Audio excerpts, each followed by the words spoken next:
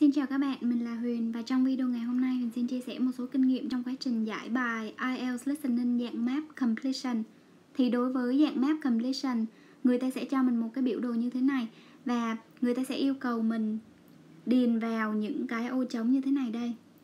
Sao cho cái giới hạn từ không được vượt quá giới hạn từ cho phép. Giả sử đối với bài này là no more than two words là không được điền quá hai từ rồi, tuy nhiên thì cũng có một cái dạng bài là không, mình không cần phải điền từ, mà người ta cho sẵn mình những cái địa điểm như ở trên màn hình rồi nè. Giả sử bài này người ta cho sẵn mình năm cái địa điểm. Tuy nhiên, yêu cầu đó là mình nghe và mình phải xác định xem là những cái địa điểm này nó nằm ở vị trí nào trong bài. Vậy suy ra đối với dạng map completion, chúng ta sẽ có hai loại, chính loại thứ nhất là bắt mình phải điền từ, sao cho không vượt quá giới hạn từ cho phép. Và dạng thứ hai là mình không cần phải điền từ, tuy nhiên mình phải chọn cái vị trí của những cái địa điểm mà người ta đã cho sẵn. Rồi, thì đối với cái bài này, khi mà muốn làm được cái dạng này, mình cần tích lũy một số lượng từ vựng nhất định. Giống như ở trên màn hình thì Huyền đã cho một số cái từ vựng chỉ phương hướng hướng đi. Giả sử như là rẽ trái, rẽ phải, đối diện đi ngang qua, đi thẳng, vân vân, thì mình cần biết. Và cái thứ hai đó là mình cần tích lũy một số từ vựng liên quan đến cái chỉ địa điểm ví dụ như là rạp hát bãi đỗ xe vân vân để khi người ta đọc tới thì mình mình sẽ biết à, mình sẽ biết để mình ghi cho đúng chính tả. Vậy thì à, các bước làm bài map labeling như thế nào? Thì Huyền sẽ chia sẻ kinh nghiệm làm bài thông qua việc giải hai bài. Bài đầu tiên đó là thuộc cái dạng là người ta cho sẵn mình cái địa điểm và mình nghe và xem xem là địa điểm này nó nằm ở vị trí nào trong cái bản đồ này rồi, để làm được cái dạng này thì bước 1 đó chúng ta cần phải ghi phương hướng xuống. Đặc biệt là đối với những bạn mới bắt đầu làm cái dạng làm quen với cái dạng này, ghi phương hướng xuống là sao? Thì đối với dạng map chúng ta cần ghi phương hướng chính, đó là đông tây nam bắc. Thì ở trên đây nè, chính là phía bắc là north, rồi phía nam ở dưới phía nam là south, ở đây là phía tây là west, rồi còn lại là east. Đó, tại sao mình phải ghi xuống như thế này? Thì ngày xưa khi mà huyền tiếp xúc với cái dạng bài này nè người ta đọc đến từ nốt một cái á nếu mà mình không ghi á là mình phản xạ à, lúc đó mình còn phản xạ rất là chậm mình không biết là nốt nó nằm ở cái góc nào trên cái bản đồ.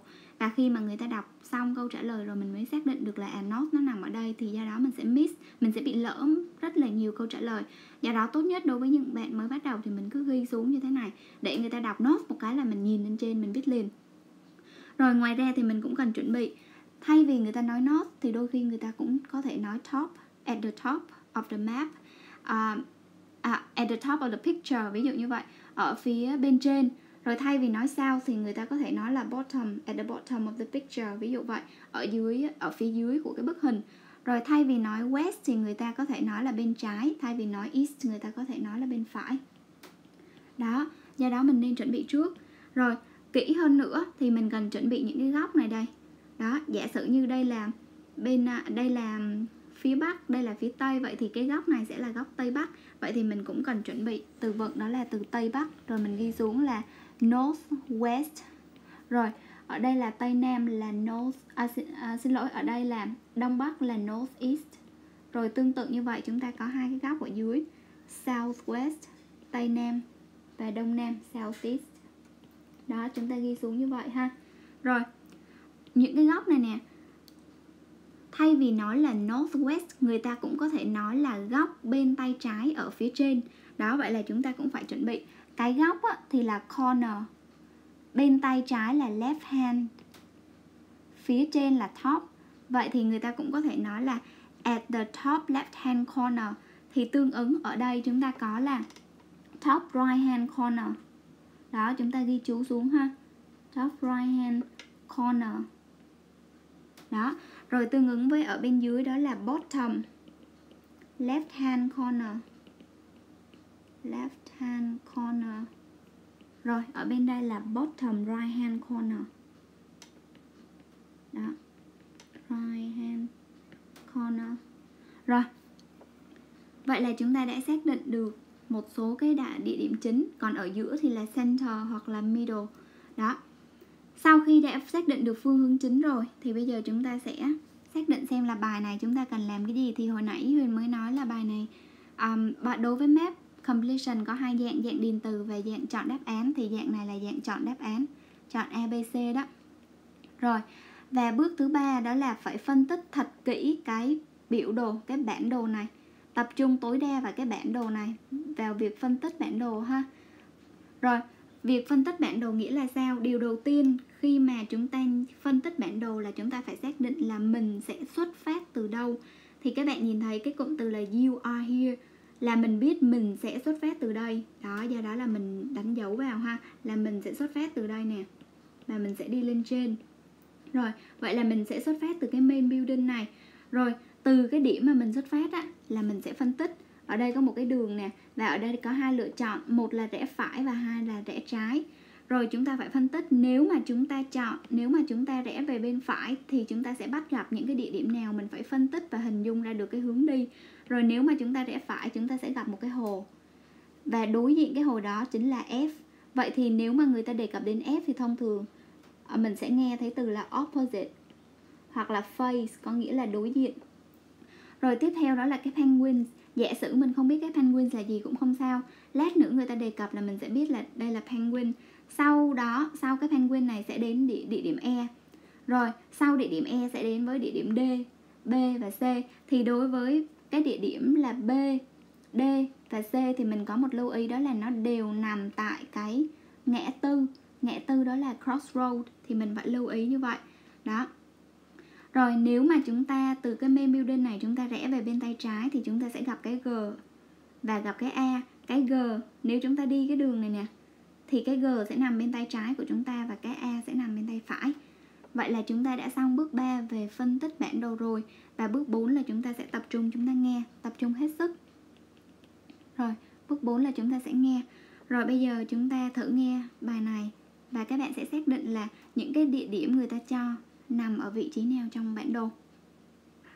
Now, I'll just give you a few directions before you leave, uh, especially for those of you who are feeling a bit hungry.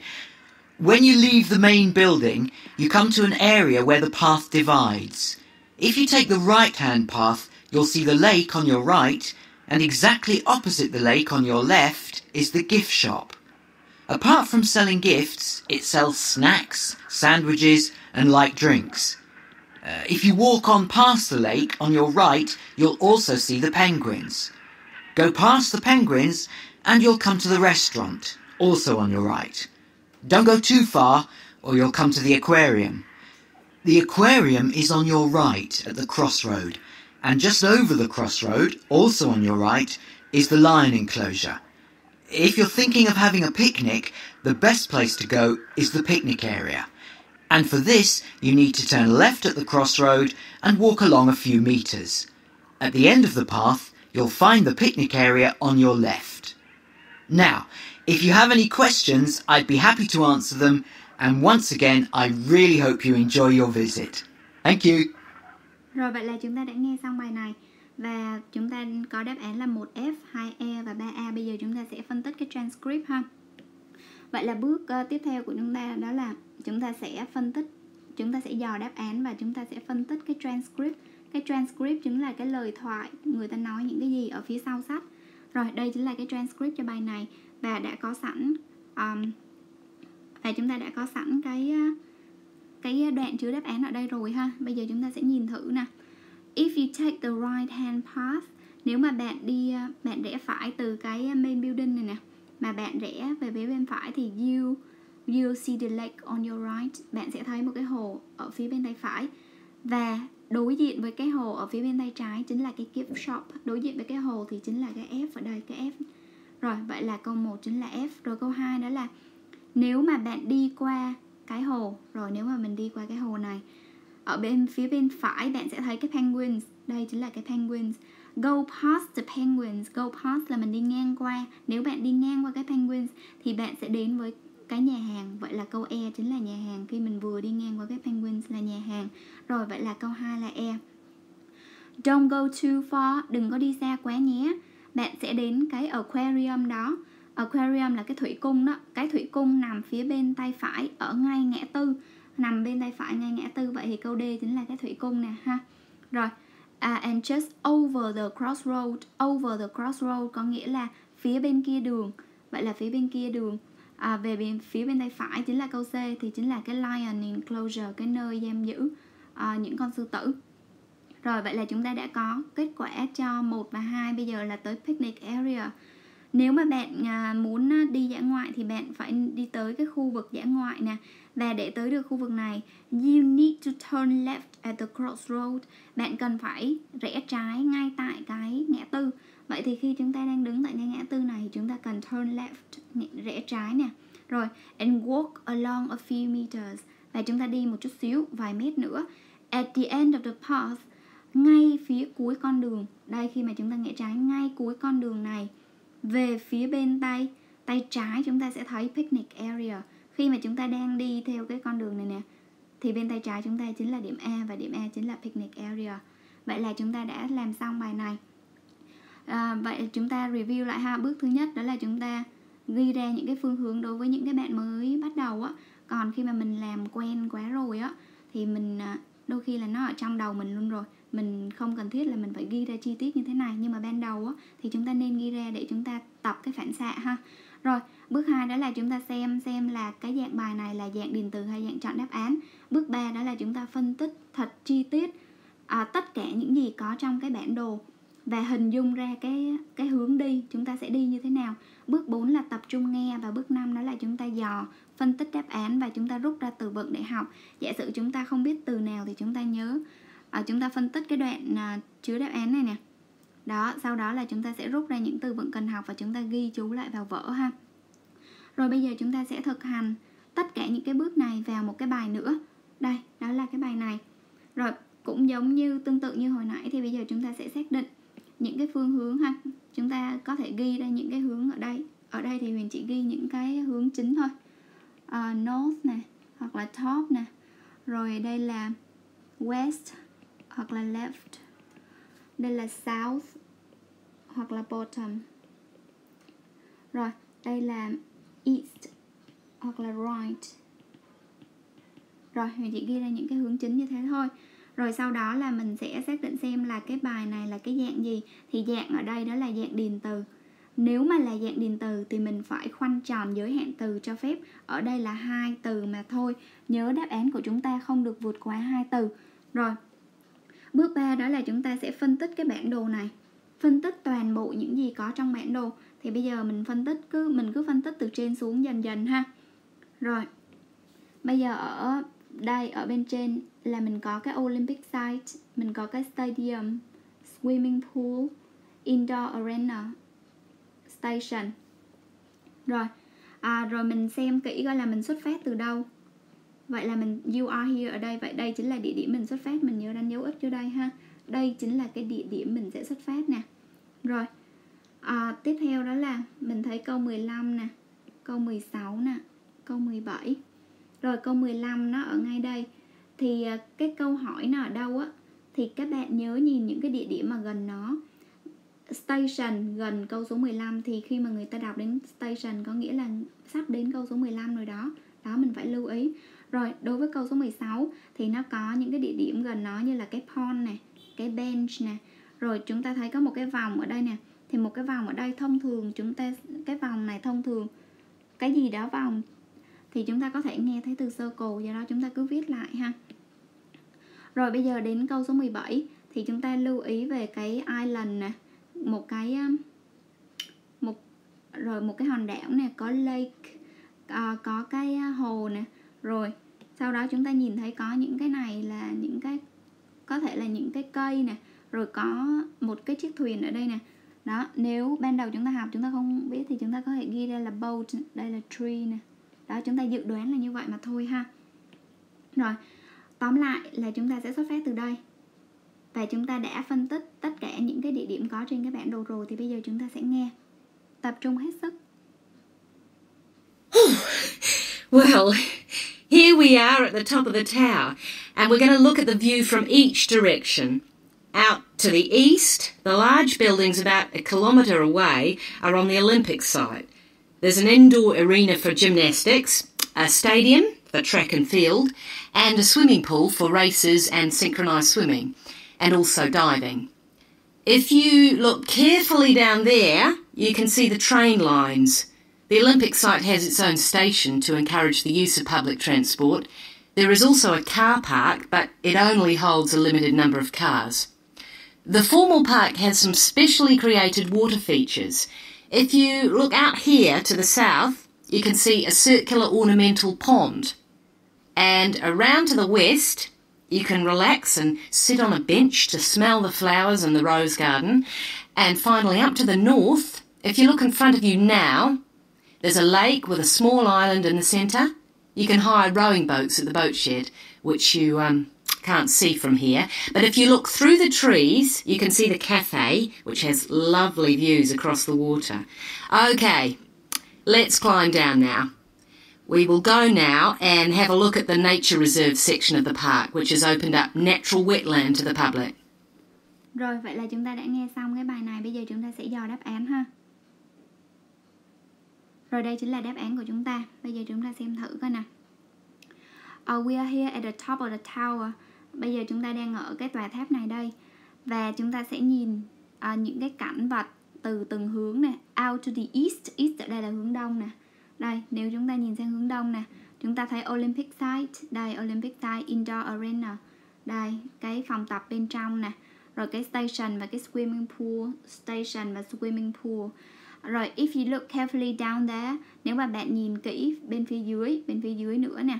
You can see the train lines. Bạn có nhìn thấy đường xe lửa hay chính chính là cái đường này đây nè. Đó. Rồi. Um, Olympic site has its own station có cái trạm xe lửa riêng nè đây chính là cái trạm xe lửa nè đó vậy là gần đến câu số 15 rồi đó rồi uh, there is also a car park cũng có một cái bãi giữ xe nữa Vậy thì đây chính là bãi giữ xe ha ngay cái station đây. Vậy câu số 15 chính là car park. Rồi, câu số 16 nè. Uh, the formal park has some specially created water features. If you look out here to the south, nếu mà bạn nhìn xuống phía nam south, you can see a circular ornament, ornamental pond. Cái pond này chính là một cái hồ nhỏ thì đây. Nếu bạn nhìn xuống hướng nam bạn thấy cái pond này đây. Rồi, around to the west. Nếu bạn nhìn sang phía tây đây là phía tây nè bạn có thể relax and sit. Bạn có thể thư giãn và ngồi ở cái bench để ngửi mùi hoa trong vườn hoa hồng. Cái bench ở đây chính là một cái ghế nè. Đó bạn có thể ngồi cái ghế này và ngửi mùi hoa từ vườn hoa hồng. Vậy thì cái circle này chính là cái vườn hoa hồng câu 16 rồi finally up to the north. Và nếu bạn nhìn lên phía bắc đây chính là phía bắc nè. Đó. Nếu bạn nhìn uh, trước mặt bạn bạn sẽ thấy một cái lake một cái hồ. Đây chính là cái hồ nè.